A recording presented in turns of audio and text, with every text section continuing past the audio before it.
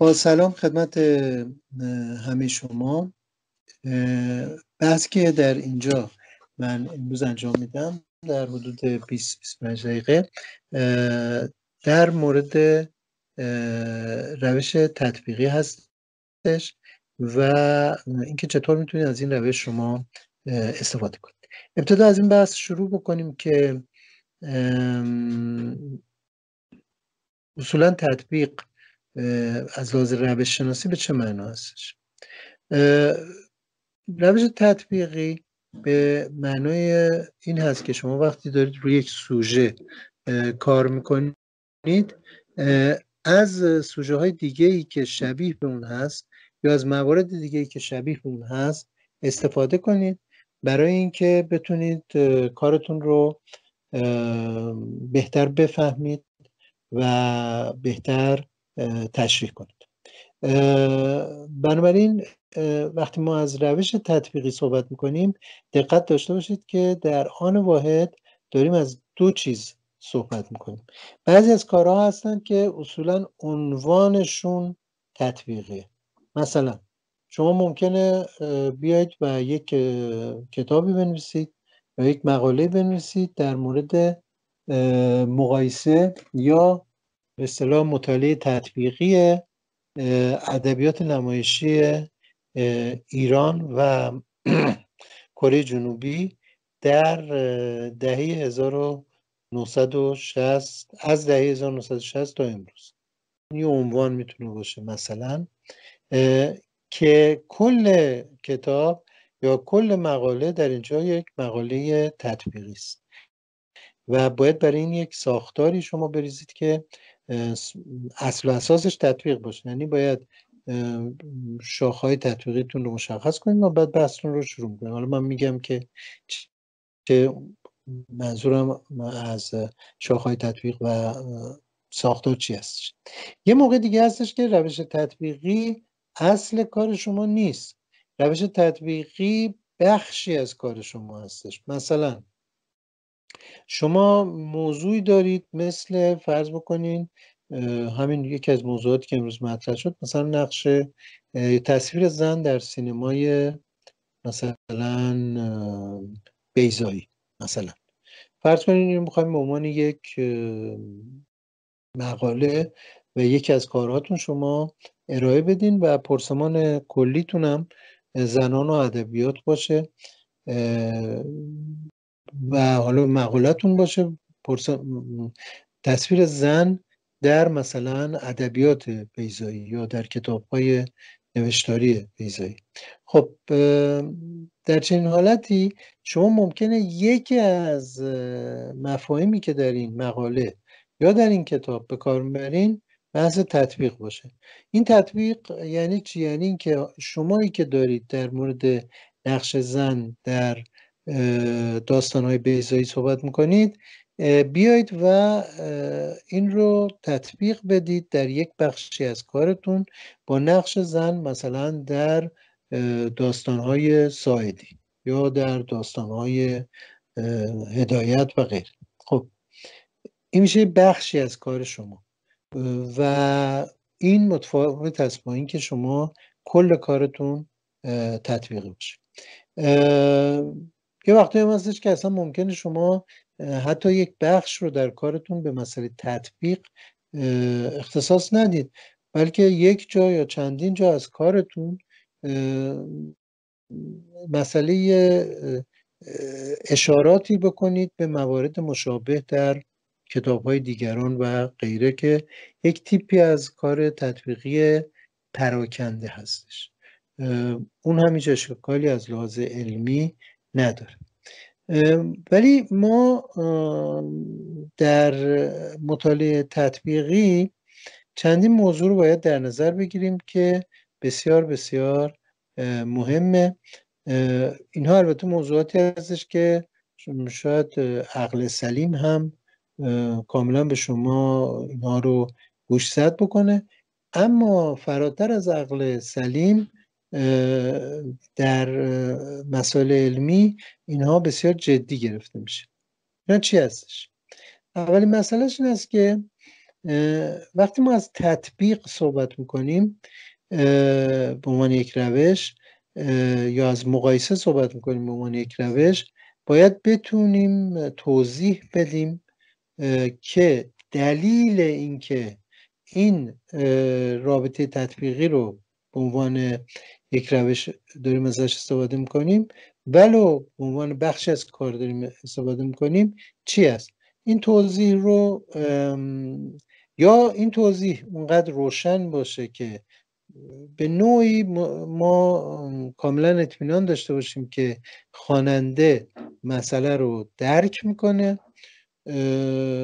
مثل اینکه مثلا فرض بکنیم من مثال بزنم مثلا کسی مقاله بنویسه در مورد سینمای به صلاح بلوک شرق در دوران اشغال شوروی یا در دوران توتالیتاریسم شرق در بین سالهای 1950 تا 1990 خب در اینجا اینکه این کشورها همشون در یک موقعیت نسبتا یکسان از لحاظ سیاسی قرار داشتن کم و بیش روشنه. بنابراین با یک توضیح کوتاهی که یک نفری بنویسه این مسئله حل میشه. ولی هر اندازه که این مسئله بدیهی نباشه و موضوعی باشه که سوال برانگیز باشه برای خواننده یا برای کسی که این به اثر تطبیقی برای او نوشته شده ما با به مشکل بیشتری روبرو هستیم برای که باید مشروعیت تطبیق روشن باشه. و البته در اینجا شما یا به تجربه نیاز دارید یعنی خودتون در طول تجربه کار پژوهشیتون تونسته باشید متوجه این مسئله بشید که چه چیزی رو با چه چیزی نمیشه مقایسه کرد. یا به یک راهنمایش احتیاج دارید مثل یک استاد راهنما یک مشاور یا حتی دوستانتون که تجربه بیشتری دارن یا تجربه دارن که به حال شما ندارید و همیشه باید من فکر کنم از مشورت دوستانتون در همه کارها استفاده کنید و اگر اساتیدی دارید که حاضرن وقتشون رو در اختیارتون بذارن که بهتون کمک کنن حتما قبل از اینکه کار رو منتشر کنید بدید و اونا بخونن و نظر بدن یا حتی درباره ایدهش می‌تونید شما با افرادی صحبت بکنید یک موضوع دیگه هم هستش که یک شاخص دیگه هم هست و اینکه چه چیزی با چه چیزی قابل مقایسه است. و اون اینه که وقتی دو موضوع به لحاظ زمانی و مکانی به شدت از هم فاصله دارن بهتر کسی تا تجربه خیلی بالایی از لحاظ روش شناسی نداره واردش نشه. مثال می‌زنم. اگر البته بگذاریم از ادبیات آمیانه و این مباحث سیاسی به صلاح خیلی مبتزلی که شما امروز می‌بینید. ببینید وقتی که مثلا ما یک طرف قضیهمون ایران یا تهران سال 1400 هست با شرایطی که الان داره و غیره. یک طرف دیگه قضیه شما فرض بکنید پهنه جغرافیایی هست که بله اون پهنه جغرافیایی هم همین منطقه است که الان تهران درش قرار داره اطلاعات که ما در موردش داریم. فرض کنین در 2000 سال پیش یا 3000 سال پیش مثلا در دوره هخامنشی و بعد ما بیایم یا اصلا به جای تهران کل ایران رو بگیریم. مثل اینکه الان ایران سال 1400 رو با ایران سال ایران دوره هخامنشی مقایسه خب این به خودی خود این تطبیق به اصطلاح بی این تطبیق اصلا نشون دهنده یک نوع عدم مشروعیت به نظر من فضات است.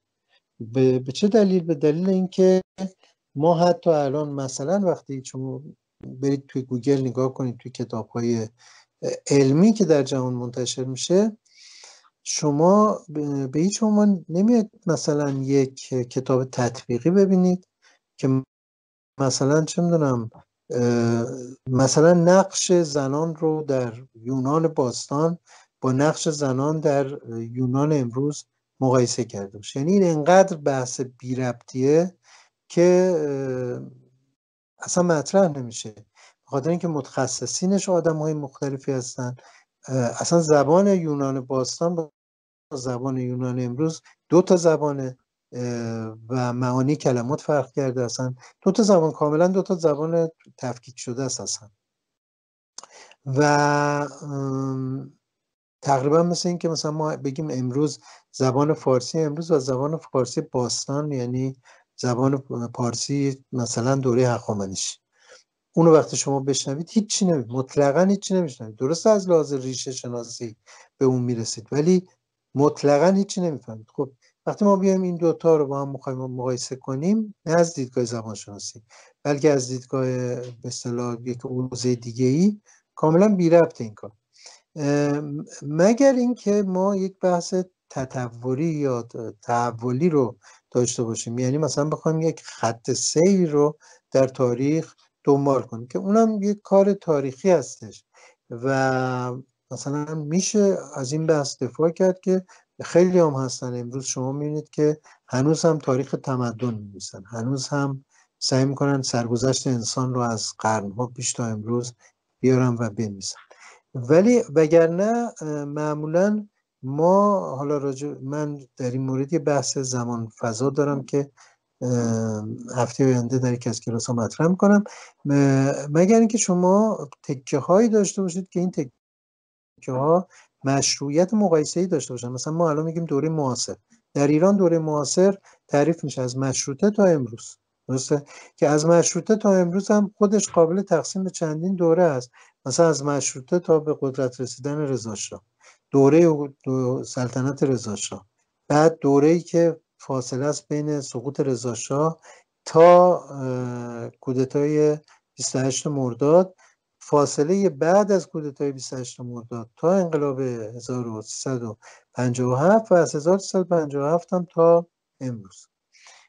و حتی خود اینها باز قابل تقسیمه. مثلا از سال 1357 تا امروز ما دهه 60 رو داریم دهه 70 رو داریم دهه 80 رو داریم دهه 90 رو داریم. تقریبا هر دهه‌ای مشخصات خاص خودش رو داره. حالا به نسبت اینکه شما بخواید تطبیقتون دقیق تر باشه باید قابلیت ها و مشروعیتی که در این تطبیق وجود داره بالاتر باشه و بنابراین به این نکته باید همیشه توجه کنید که هر جا ظاهر قضیه در حقیقت به شما نشون میده که شما در یک زمان و فضای کاملا متفاوت به سر می‌برین علل قاعده تطبیق امکان نداره. و شما را حد اکثر به یک نوع پوپولیسم فرهنگی میرسونه یک پوپولیسم مبتزل و عامه گرایانه میرسونه.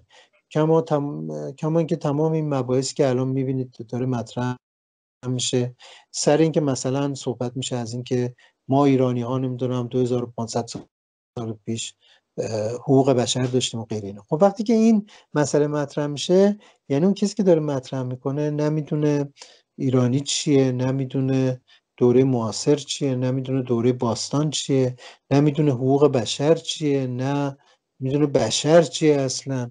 هیچ کدوم از این مفاهیم رو یک برداشت علمی ازش نداره و طبیعتا می‌تونه هر چیزی که دلش هم بخواد بگه و جوی هم که وجود داره خب مثلا چون حکومت در خیلی از جاها با ملی گرایی مبارزه می‌کنه در به عنوان واکنش جو مثبتی بگیره. کما که شما الان برید توی سایت های ملیگرا می‌بینید که چقدر بیننده داره و چقدر مورد توجه و چقدر کامنت هایی می‌گذارن که این کامنت های هیجان انگیز می‌ذارن اینا. خب اینا جایگاه خودشو داره ولی علمی نیست به هر یک چیزهای احساسی هست که شما می‌تونید به عنوان یک امر احساسی این رو مطرح بکنید. وگرنه هیچ چیز علمی درش وجود نداره. این تطبیق بنابراین باید همیشه مشروعیت داشته باشه. وقتی که مشروعیت داشت اون موقع خودش شاخصهایی رو به شما میده. بیایم روی هم بحثی که الان چند دقیقه پیش مطرح کردیم. مثلا گفتیم نقش زن در فرض بکنید. آثار ادبیات بیزایی و هدایت. خب اگر بیم و این رو به عنوان موضوع بگیریم بلافاصله سوالی که مطرح میشه اینه که اصولا هدایت به عنوان یک نویسنده به عنوان یک داستان نویس با بیزایی که ده ها سال بعد از اون شروع می‌کنه به انتشار اولین کارهاش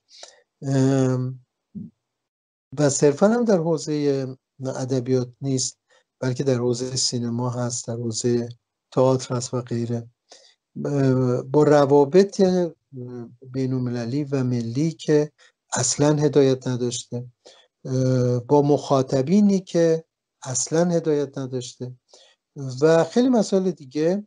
خب اینا رو در نظر بگیریم اینا میشه اختلافات بعد موارد مشابه ایران اگر به نظرمون می‌رسه در نظر بگیریم و بعد اون موقع بیایم بپردازیم به اینکه حالا زن در آثار هدایت رو آیا میشه با زن در آثار بیزایی مقایسه کرد یا نه؟ اشتباه بزرگ چیه در اینجا؟ که من هشدار خیلی مهمی به شما میدم. اشتباه این است که شما موضوع رو بگیرید پایه دقت کنید من اینو دو مرتبه تکرار یعنی شما به جای اینکه در حقیقت دال رو یعنی قالبی رو که می‌خواد انتباق درش انجام بگیره مدلول رو بگیرید موضوع بحث. یعنی چی؟ یعنی اینکه شما بگید که چون من می‌خوام روی بازنمایی یا representation زن کار کنم در ادبیات. بنابراین دیگه فرق نداره که بیام مثلا هدایت رو بگیرم و بیضایی یا هدایت رو بگیرم و ساعدی یا جمالزاده رو بگیرم و مثلا چه می‌دونم هر کسی گلشیری و غیره. و یا پنج نفر دیگر هم بگیرم. این بدترین کاری است که کسی می‌تونه انجام بده. به دلیل اینکه در اینجا اصولا مرتکب اشتباهات متعددی میشه. چون خود حتی اون موضوع یک معنا نداره. ما در بحث فضا و زمانی رو خواهیم گفت. وقتی ما در سال 1400 میگیم زن در یک فرهنگ خاص و در یک زبان خاصی این فرض بکنید به دو هزار سال پیش که واجهی معادل این واژه به کار می‌رفت برای مفهومی که, حالا به هر شکلی به هر نوعی بتونیم بگیم بهش زن در دوران باستان این لزوما یک موضوع نیست. نه تنها با این فاصله زمانی که خب بدیهیه به نظر من ولی حتی در یک به زمان کوتاه. مثلا فرض بکنید من چند وقت پیش یک مقاله نوشتم که می‌تونید در هم سایت ها پیدا کنید هم خیلی سریع روی خود اینترنت هم می‌تونید پیدا کنید. در مورد یک کتابی که مقدمه نوشته بودم و الان مقدمه رو گذاشتم روی چیز روی سایت هم گذاشتم کتابی منتشر شده بود که از من خواستن یک مقدمه بنویسم دوستم های اصلانی و این کتاب سه تا گفتگو بود که یک خانمی انجام داده بود با آقای اصلانی آقای سینایی و آقای تیاب بعد آقای اصلانی از من خواهش کرد اون خانم که این کتاب رو گفتگو رو انجام داده بود گفته بود چون شما با هر سه اینا دوست بودید و باشون هم در ضمن مصاحبه کردید و تو منتشر نشده ولی خواهد شد خواهش کردید که من بنویسم. ولی خب اولین موضوعی که من در موردش باید تصمیم گرفتم این بود که من در مورد در مقدمه این کتاب چه چیزی بنویسم؟ چون آقای اصلانی خصوص اصرار داشت که بنویسم من این رو و بهشون گفتم که سینمای شما هیچ ربطی به سینمای آقای سینایی و به سینمای آقای تیاب به نظر من نداره. و من مطلبی که می نویسم تنها چیزی که می‌تونم درش بنویسم اینه که جمع شدن شما با هم رو بگیرم به عنوان تفاوت هستی شناختی که در سینمای شما سه نفر وجود داره رو در موردش بحث کنیم. و یعنی به نوعی بنویسم چرا ما در این سه نفر که این کتاب باشون گفتگو کرده با سه نوع سینما سر کار با سه نوع هستی شناختی سر کار داریم. و همین کارم کردم. در اینجا به نوعی من نیومدم تطبیق انجام بدم. یعنی اون کتاب رو یعنی اون مقدمه رو به شما به عنوان یک کار تطبیقی معرفی نمی کنم به عنوان کاری مطرح می‌کنم که موضوعش چیز دیگه است. موضوعش در حقیقت نگاه به هستی شناسی تصویری و سینمایی هست که فرض بکنید در مورد سه تا مثال من براش آوردم.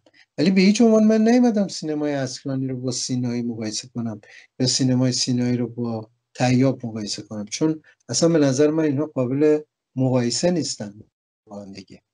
من ممکنه راجع به تک تک اینها چیز بنویسم ولی در مورد اصلانی که بسیار نوشتم و الان یک کتاب منتشر خواهد شد هم گفتگو هست هم نوشته هم راجع به فیلم های اصلانی. در مورد آقای در مورد تیاب و در مورد سینایی هم دو تا یادنامه هست که قرار به صلاح خانه هنرمندان منتشر کنه که از من مقاله خواستن و منم قول دادم که بنویسم. به صورت جداگانه نگاه می‌کنم هم به سینمای تهیاب و هم به سینمای سینایی. اما معتقدم این است با هم قابل مقایسه نیستن. در حالی که مثلا نگاه کنید به مورد سینایی و تهیاب سینایی و تیاب دو نفر هستن تقریبا هم سن و سال هم بودن. تیاب چند سال بزرگتر بود؟ این کنم 5 سال بزرگتر بود. از تیاب هر دوشون در یک کشور درس خونده بودن یعنی در اتریش. هر دوشون کما بیش کما بیش از یک محیط اجتماعی اومده بودن. به مقدار تفاوت. و هر دوشون اونجا سینما می‌خونن. هر دوشون تقریبا در یک زمان به ایران برمیگردن و شروع کن کار کردن و هر دوشون هم تا آخر عمرشون در کار سینما بودن. البته سینایی هم فیلم داستانی ساختن مستند ولی تیاب بیشتر فیلم های مستند و ولی وقتی از من بپرسن آیا میشه اینا رو با هم مقایسه کرد من جوابم قطعا نه هستش. یعنی وقتی حتی این همه ما نزدیکی رو می‌بینیم. چرا؟ چون اختلافاتشون بسیار بیشتر از این نزدیکیه که مثلا در تجربه زیستیشون داشتن در دوستیشون با هم داشتن و در خیلی چیزهای دیگه.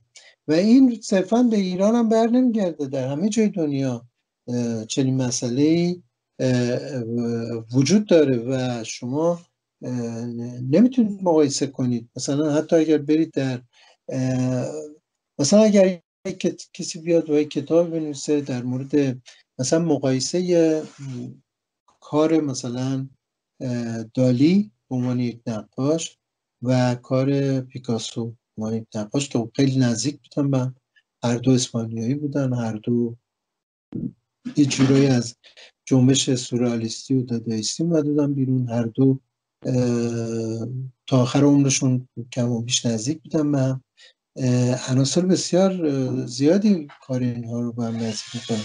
ولی بیشتر از اون عناصر این کار اینا رو اصلا جدا می‌کنه و این مسئله باعث میشه که ما نتونیم کار اونها رو با هم مقایسه کنیم. خب اینا نکاتی بود که من می‌خواستم در مورد بحث تطبیقی با شما در میون بگذارم و این بحث رو البته ما ادامه خواهیم داد و در جلسات آینده باز به همین صورت من هر بار در مورد یک موضوع صحبت خواهم کرد و این مباحث در کانال های ما و در کانال ویژه درس ها منتشر خواهد شد در کانال خود شما. بسیار